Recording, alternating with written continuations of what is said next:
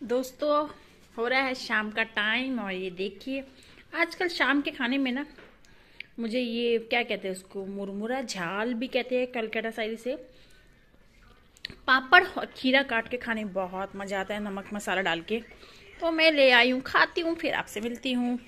आज है सैटरडे तो आज हम सैटरडे शाम का टाइम हो रहा है, चाय और चिप्स लेके बैठे हैं। खाएँगे और उसके बाद जाके कुछ और काम किया जाएगा। कौन सा शेप है? तो आज खाने की जल्दी नहीं है क्योंकि आज शनिवार है कल है संडे छुट्टी।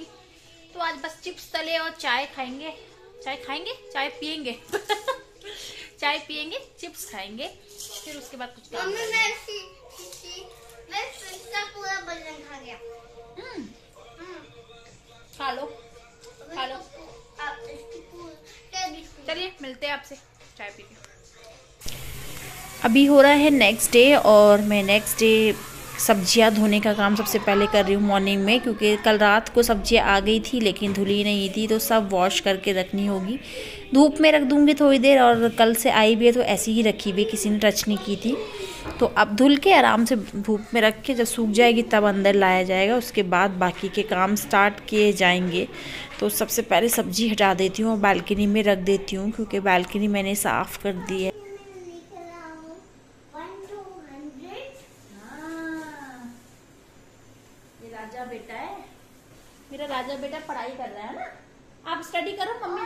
और और और मैंने अभी खाया है पास्ता पर मैंने थोड़ा ही जूस बना के खाया दे दो एक है गिलास। पास्ता। हाँ मेरे बेटे ने थोड़ा ही खाया पास्ता। कर लो काउंटिंग फिर पास्ता फिर खा लेना ओके ओके बेटा? चलो कर लो जल्दी। आज घाट आज हमारा धोबी घाट खुला और आज हम सारे कपड़े तुम बोली नहीं ना हमारे पास ये कभी मैंने देखा था वहाँ पे हम लोग ना विंटर्स के जितने मतलब रजाइयाँ वगैरह बहुत भारी भारी होती है तो मैं संडे का दिन मैंने चूज़ किया था कि ये रख देंगे उठा के इसमें। तो कुछ पुराने सामान भी निकल रहे जैसे तक्ष के कुछ पुराने सामान थे, ये सब किसी को देना है मुझे। तो मैंने कहा निकाल दो, क्योंकि सब रखे रखे ख़राब हो रहा है सब सामान। सफ़ाई क्या? आज सर्दियों के कपड़े अंदर थोड़े थोड़े करके रखना मौका नहीं मिलेगा कपड़े रखने का। आज संडे है तो उसका अच्छा यूटिलाइजेशन कर लेते हैं।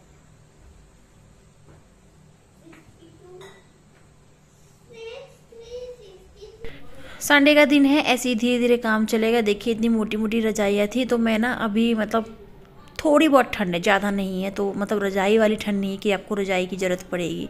तो मैं उसके सब कवर ववर निकालवा के मैं वॉश कर दूँगी और बाकी के जो कपड़े हैं, वो मतलब रजाई है, वो सब बेड में डाल देंगे अच्छे से और ताकि सपोर्ट मैं ऐसे ही करती हूँ, धूप वूप मैंने पहले ही लगा दी थी और फिर अभी आज ये भी है तो हेल्प करवा देंगे साथ में क्योंकि ये इतना मोटा मोटा, इतनी भारी भारी रजाइयाँ है ना, मेरे से तो उठती ही नहीं है ये। और फिर ढंग से रखी नहीं जाती तो ये अच्छे से रख देते हैं इसमें, इसलिए इनकी हेल्प ले रही हूँ। और जैकेट्स बहुत सारी बाहर निकली है, वो भी सब फोल्ड करके सब रखते जाना है इसके अंदर, वरना कपड़े ना बहुत हो जाते हैं। तो जो सर्दियों के कपड़े होते हैं ना, मैं बेड में ही डालती हूँ क्योंकि अलमारी खाली हो जाती है फिर गर्मी के कपड़ों के लिए। और कपड़े खूब निकलते हैं यार, सबके घर में ही निकलते होंगे।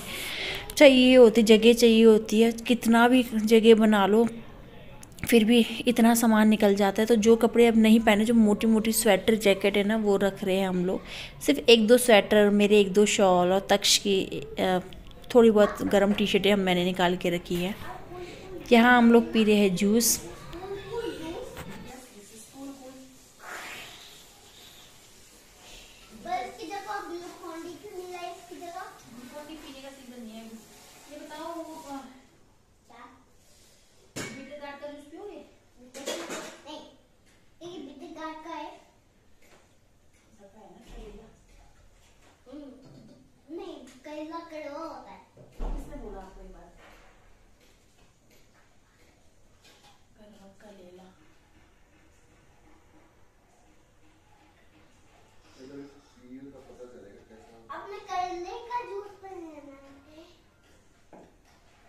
ऑरेंज है पापा के लिए बनाया है। ऐसे मत करो ऐसे तो गिर जाएगा तो जैसे आप कर रहे हो। नमक डाला था क्या इसमें? आप तो उसमें तो डाला था लेकिन थोड़ा डाल लो। तो करेले के हिसाब से कम पड़ेगा। अब तो डाला नहीं है तो तुक्का और डाला है। दिखाओ। मेरे को मुख जवान वैसे कर गई मैं तो लग रहा है? क्या हुआ बोलो। आपको जब दो बूंदी है। पी के देखो दो बूंदी काफ़ी है। ज़िंदगी के दो बूंद है भाई ये? ऐसे कर रहे एक बूंद है। तो ऐसे करवा को पता है बहुत बहुत गंदा है क्या? अभी तो फिर भी इसमें संतरे का महक आ रही है। एक खड़ा करेला डाल देता ना तो ये पिया है। तो आप समझ गए अंदाज़ा अपने इसमें ऐसे ही डालना दो टिक्की ऐसे करके